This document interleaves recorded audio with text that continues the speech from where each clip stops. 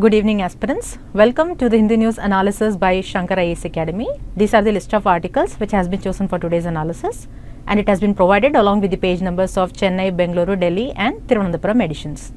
The link for the handwritten notes is provided in the description box below and it is also provided in the comment section. Let's move on to our first article discussion. This article is about legalizing cannabis. The discussion can be linked to the syllabus given here for your reference. In this article, the authors speak about the growing movement in the Western countries for legalizing cannabis and the risk associated with India legalizing cannabis. According to authors, the growing movement in the West for legalizing cannabis is also reflected in India.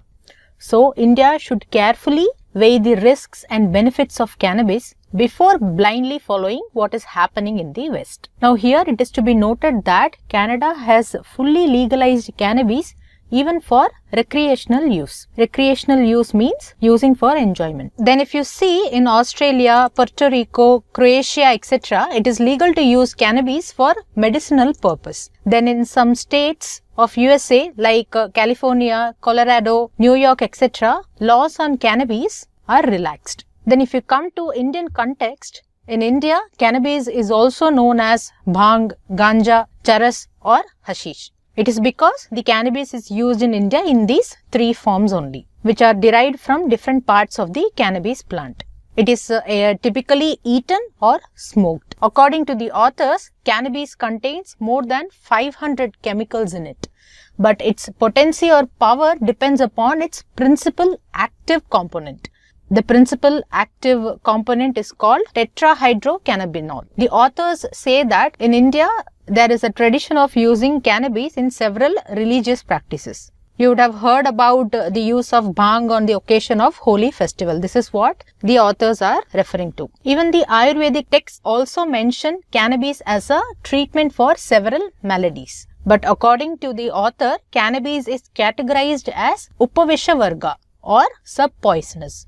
So, its recreational use is also described as toxic. Actually, there are several misconceptions about the use of cannabis. The authors who are researchers on cannabis for several decades tries to clear these misconceptions. The first misconception is the assumption that cannabis is harmless. But in reality, if you see its immediate effect includes impairments in memory, that is causing damage to the memory and mental process. Then the long-term use of cannabis may lead to development of addiction, and it may also lead to persistent cognitive deficits. That is, it will cause damage to mental activities such as thinking, remembering and understanding. Then the long-term use will also cause mental health problems like schizophrenia, depression and anxiety. In addition to this, exposure to cannabis in adolescence can also alter brain development. Then the second misconception is that if cannabis is legalized and regulated,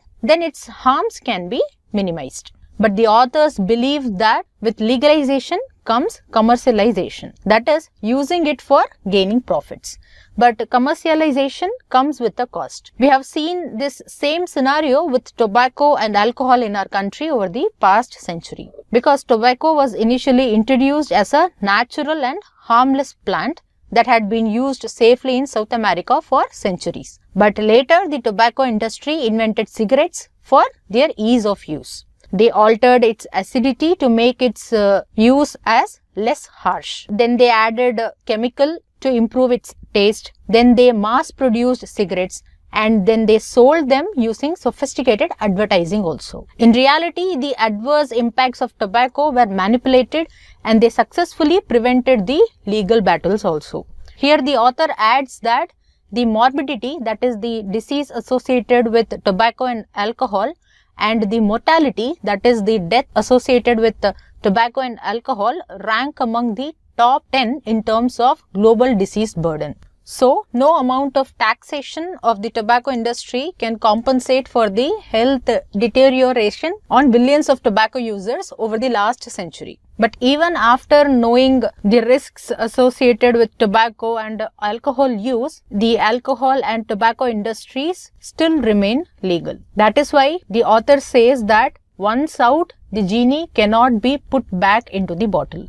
That is, once if it is legalized, then it will be hard to control. Then the author also stresses upon the difference between legalization, decriminalization and commercialization. The legalization and decriminalization are used in the legal context while uh, commercialization uh, relates to the business side of things. Legalization means the action of making something permissible by law that was previously illegal and uh, decriminalization is the action or process of stopping to treat something as illegal or as criminal offense. But if you see the goal of uh, commercialization, it is to maximize the sale of their products. Now, this can be clearly seen in the steady growth of the cannabis industry in the US. Also, along with this, the sale of tobacco products has shown a decline in the western industries. So some of the leading tobacco companies have entered the cannabis market now. They have also invested in cannabis growing companies. The author says that these commercial entities who were initially tobacco companies will use their experience in solving the legal hurdles and they will overcome those legal hurdles. Then they will be successful in the marketing strategy also and they will also be successful in lobbying or promoting their products and they will also have a deep influence in the government to maximize their profits. The author is saying this based on an example. For instance, in the USA, cannabis is being incorrectly advertised as being natural and healthier than tobacco and alcohol. So based on this false advertisement, a new range of cannabis products in the form of ice creams, sweets and soft drinks are becoming available. Now these products will be directly available to the children and the young individuals who may become an addict in their later life. The targeting of young population is one another marketing strategy of these cannabis companies because it assures lifelong customers. The promoters also argue that legalizing and regulating cannabis will undermine the criminal markets which thrive on illegal sale of cannabis. But the author says that in the US state of Colorado, where cannabis is legalized, the black market has only increased. So this means the legalization of uh, cannabis did not undermine the criminal markets. The author notes one interesting point here. Actually, in 1961, the United Nations sponsored an international treaty to prohibit the production and supply of drugs, including cannabis. The treaty was the single Convention on Narcotic Drugs of 1961. Now, this convention was uh, driven by the Western countries.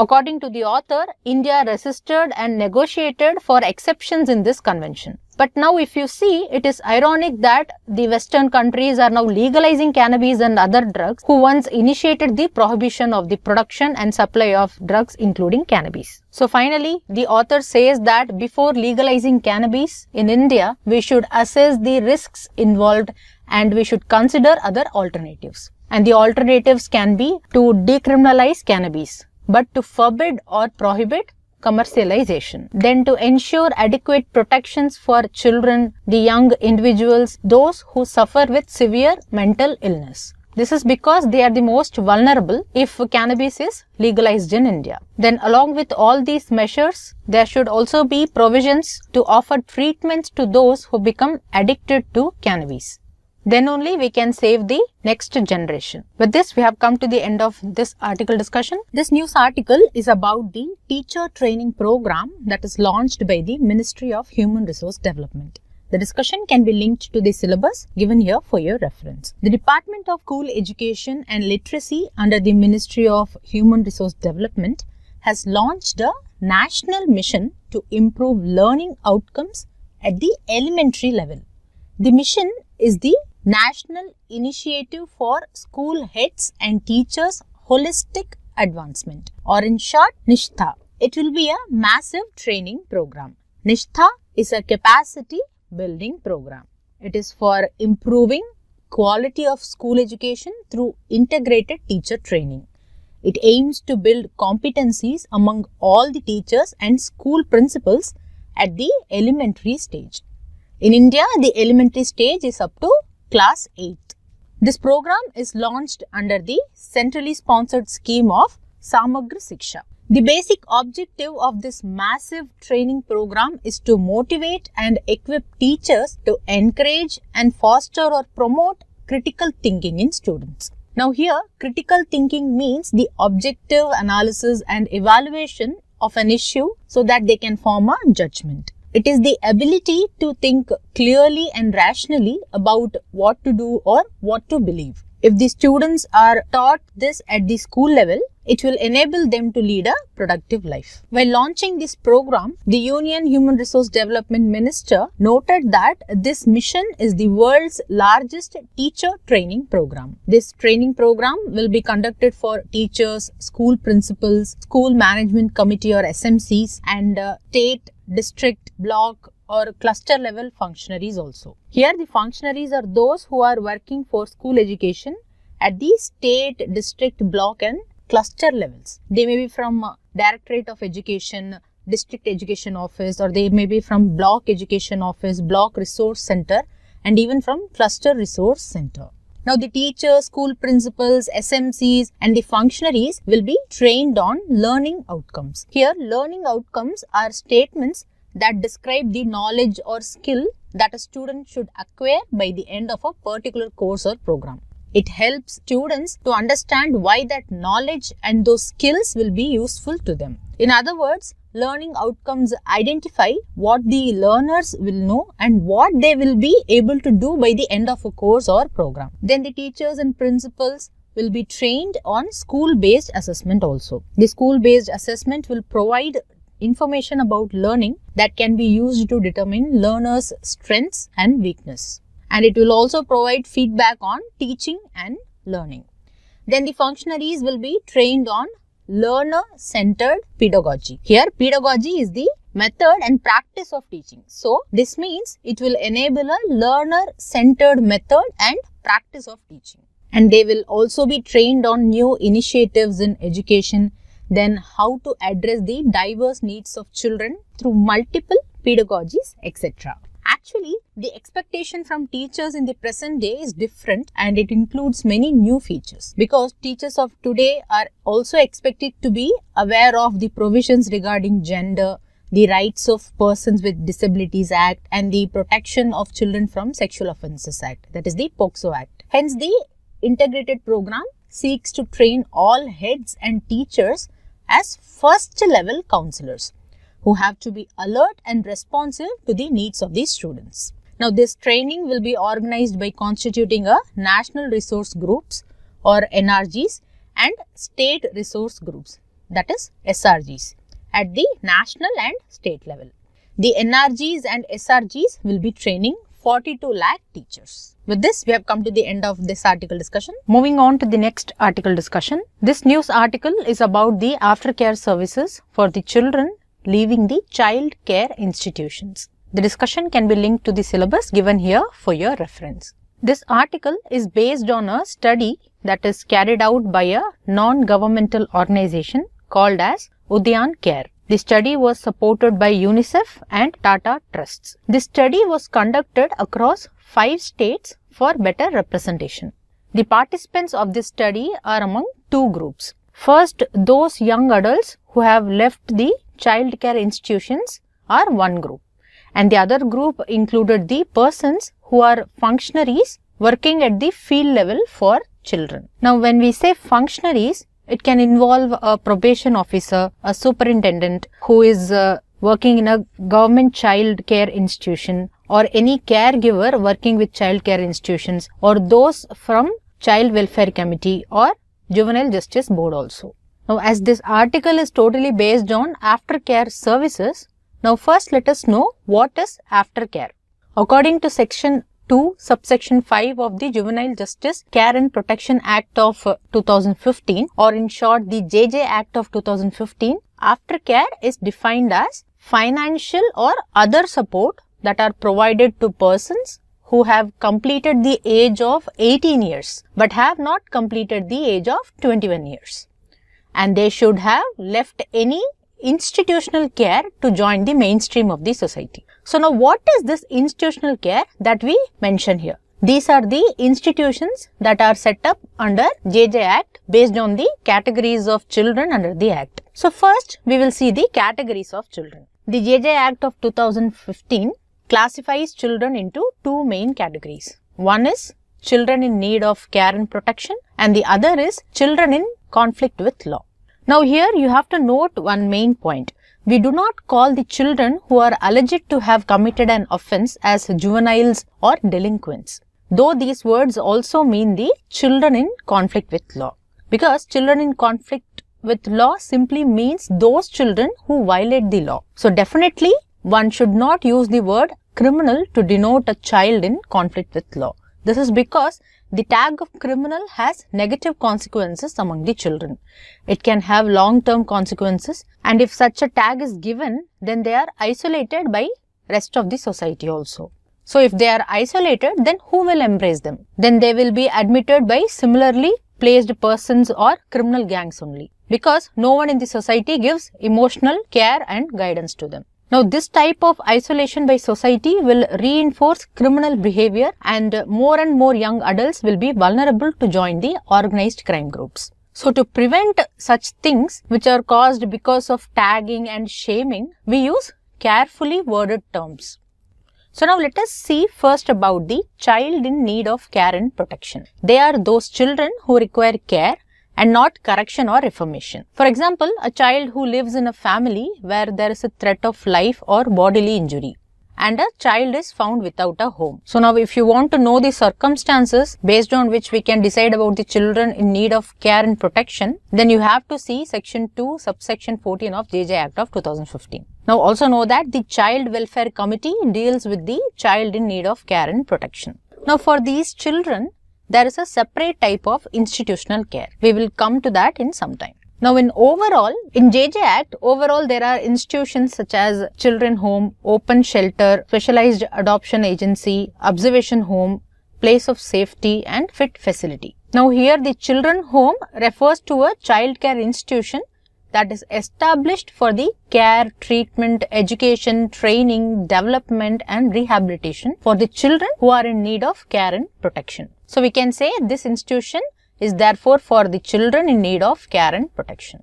Now this open shelters function as a community based facility for children who are in need of residential support on a short term basis.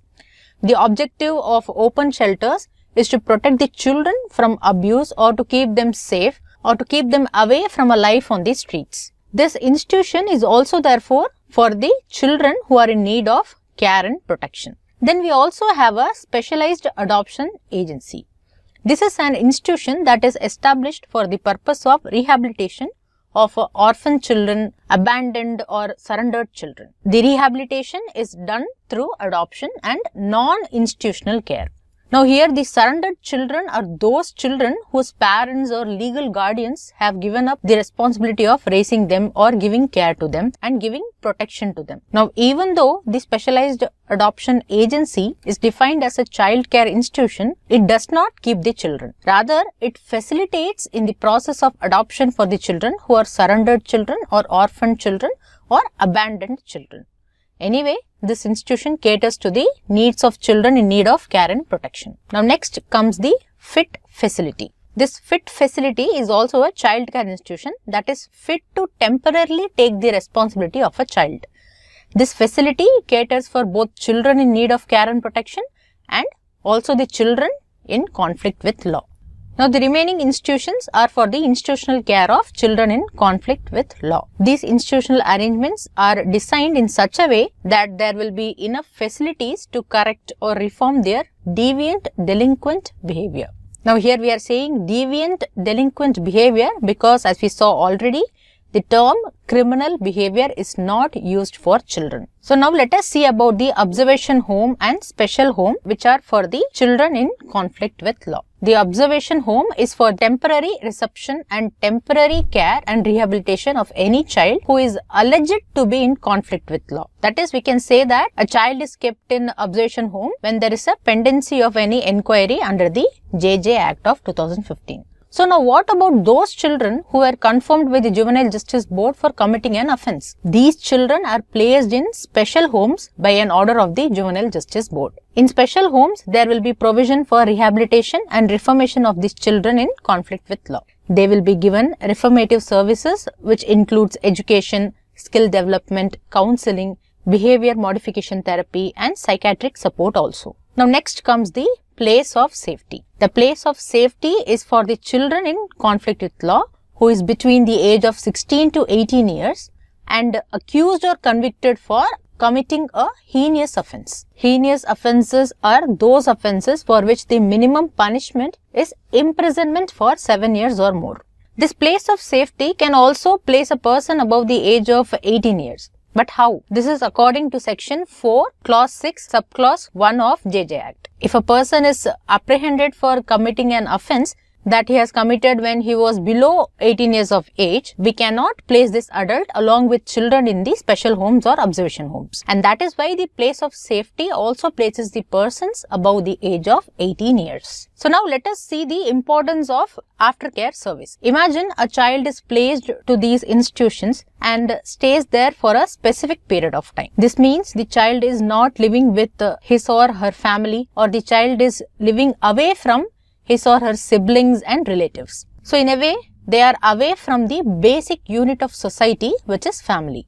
So now because of living in an institution, they will also be away from the mainstream society. This is because they will be either in care and protection in this institution or they will be under reformation program in special homes. Now some children who come to such child care institutions are rehabilitated before attaining the age of 18 but some children are placed even up to the completion of 18 years. Now, this is more evident among children in need of care and protection. For those children in conflict with law, special home is the last resort for correction and the maximum period for correction is 3 years. Now, take a situation.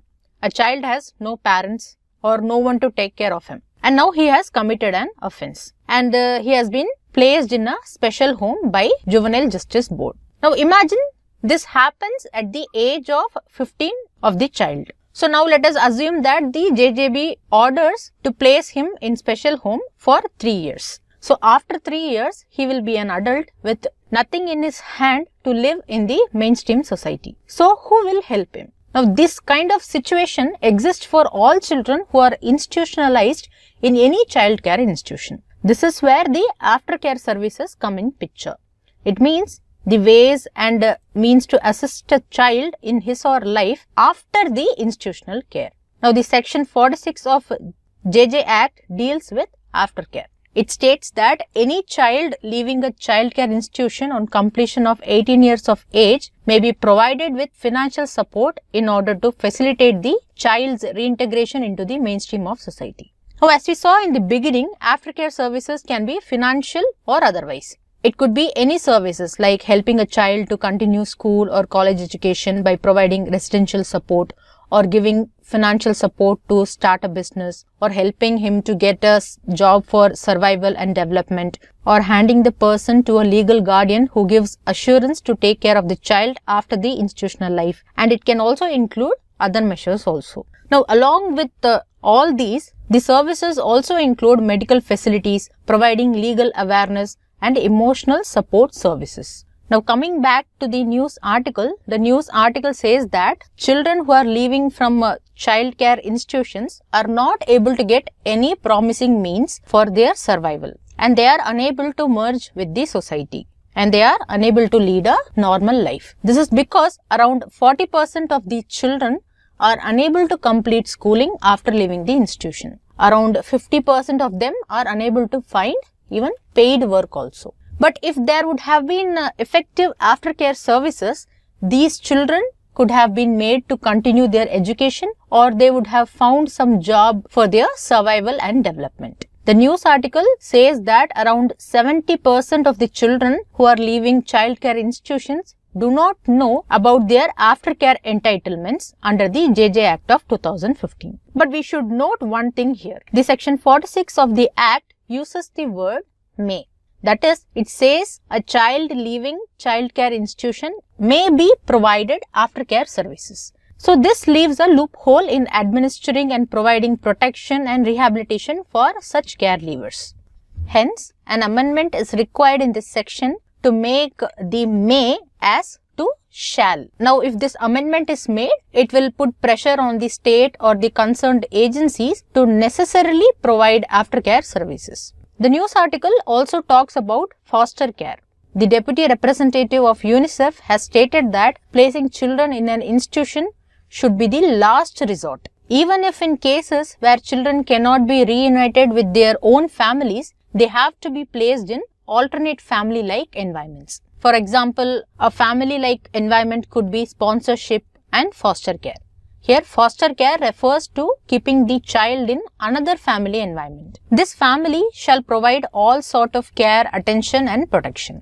And this care, attention and protection should be as similar as it will be given by any prudent parents who possess apt skills of parenting such child. Now, according to JJ Act, the foster care is based on the orders of the Child Welfare Committee and the procedure mentioned in the Act.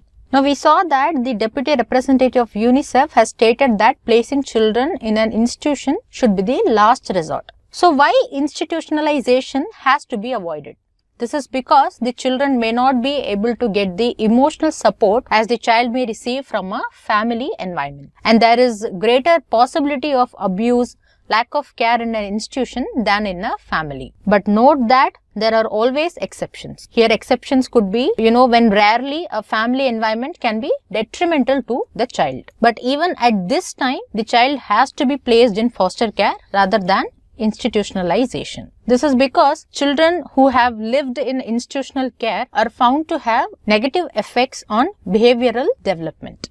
In institutions, there will be strict routines, group treatment and isolation from mainstream society. But in a family environment, there will be personal possessions and care relationships and the child will grow in touch with the society. So that is why family environment is good for the overall well-being of children. So with this, we have come to the end of this article analysis. This practice question will be discussed in the last session. This news article is with respect to reducing the plastic use by the milk industries. The syllabus that can be linked to this discussion has been given here for your reference. Recently, during the Independence Day speech, the Prime Minister has encouraged the citizens to make India free from single-use plastic. And this has to be achieved by October 2 this year. This is because October 2 has been decided by the Prime Minister to remember Mahatma Gandhi and his ideals to prevent environmental pollution so as to have a clean environment. So in this analysis, we will be seeing in brief about the extended producer responsibility with respect to plastic waste management. Then we will see some of the measures announced in a high level committee that was held under the chairmanship of Secretary of Department of Animal Husbandry and Dairying. This meeting was held on 21st August 2019 that is yesterday. So now let us first see the responsibility of the producers under the plastic waste management rules of 2016. These rules were revised in 2018. Now here note that with respect to plastic waste rules, the plastic waste management rules of 2016 have superseded the, the plastic waste management and handling rules of 2011. According to the Plastic Waste Management Rules of 2016, the extended producer's responsibility means the responsibility of a producer for the environmentally sound management of the product produced till the end of the product's life. Under the rules, the producers are required to recover and recycle part of the plastic packaging that is generated by them. That is, say for example, if they pack milk using plastic pouches, then they have to collect and recycle the plastics from the people who have used the plastic packaged milk. Next, let us see some of the measures announced in the high-level meeting that was held yesterday. This meeting was chaired by the Secretary of the Department of Animal Husbandry and Dairying. The Department of uh, Animal Husbandry and Dairying comes under the Ministry of Fisheries, Animal Husbandry and Dairying. So remember not to confuse that uh, the Department of Animal Husbandry and Dairying comes under Ministry of Agriculture. Don't confuse it. In this meeting, the Secretary has requested the cooperatives that own the Amul and the Mother Dairy brands, which are the milk brands, to formulate an action plan or a protocol to recycle milk pouches. Once they share the action plan or the protocol to the department, the protocol will be circulated to other milk federations for implementation. The Secretary has also requested major dairy federations to encourage reuse of plastic milk pouches in a campaign mode.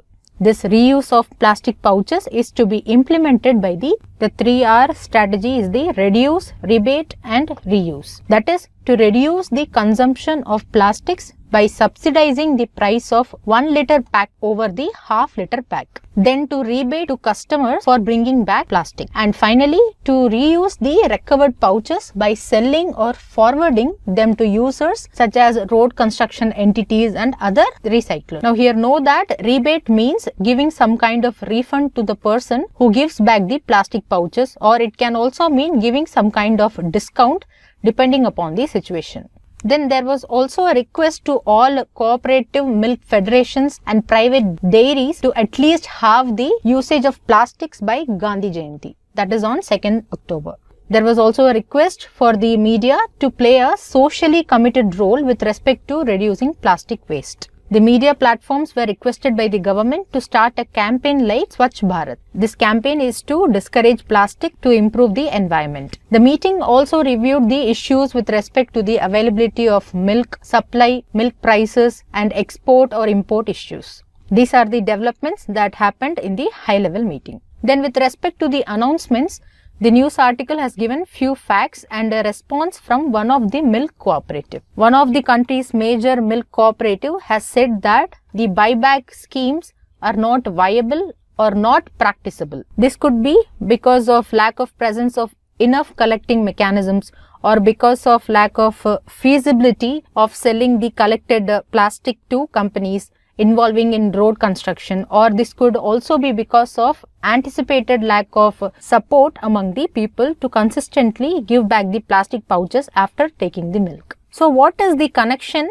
with plastics and the milk industries? The connection is that the milk industry is one of the largest users of single-use plastics. Single-use plastics are disposable plastic that are commonly used for plastic packaging.